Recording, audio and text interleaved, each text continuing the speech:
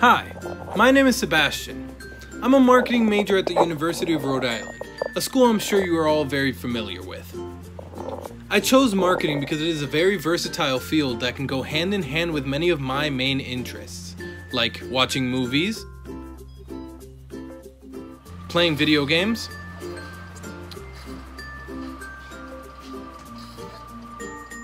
watching sports,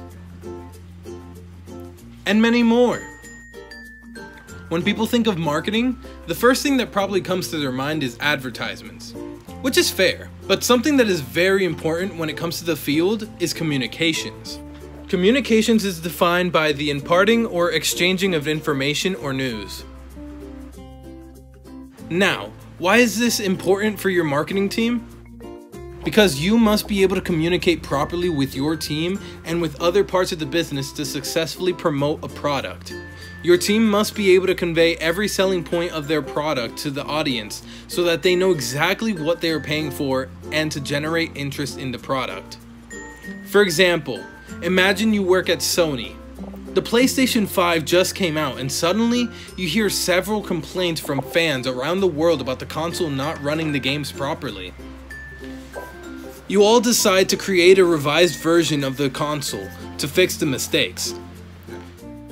The correct thing to do would be to analyze the problems, have a team of experts manufacture these revised consoles, and explain to the marketing team what revisions they made to the original PlayStation 5 so that they can showcase these changes to their fans and build up hype for the new system. Here's an example of how poor communications could negatively affect a company's product. Gary! Gary, wake up! Ah, my tummy's not feeling the greatest. Gary, here's the PlayStation 5 Pro.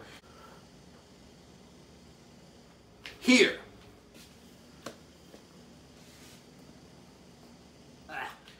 The marketing team is going to be here in 30 minutes so that you can explain the PlayStation 5 Pro's new features. Okay? Ugh. I'm going to run to the bathroom. Get to work, expert. Okay. A few minutes later. Mr. Marketing Man, my name Hi, is Gary. Gary. Um, I'm, I'm the expert. I'm the one that put this bad boy together, the PlayStation 5 Pro. Are you really sure you're... Yeah, I am qualified for this job, thank you.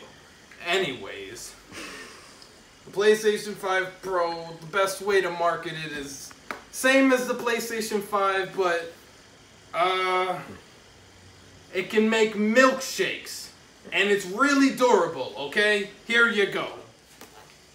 Okay, um, like same as the PlayStation 5, durable, and can make milkshakes. How does that even work? Okay.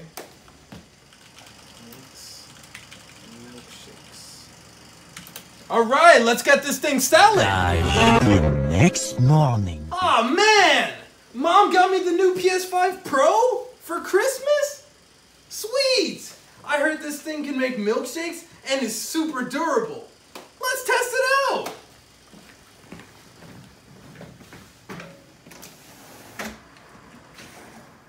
Bombs away!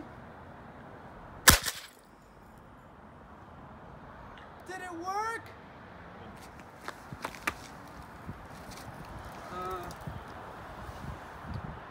Yeah, let's go make a milkshake. All right.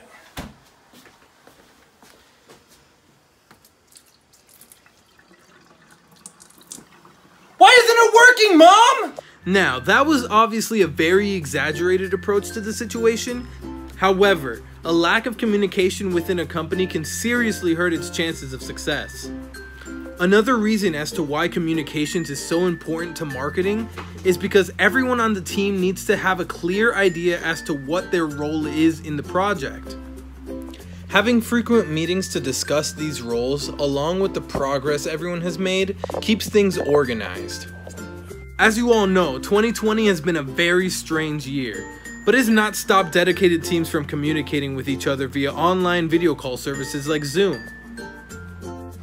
Even in a year where the whole world seems like it's going to come to an end, We continue to work hard and bring new ideas to solve our problems. And that is the beauty of marketing and communications.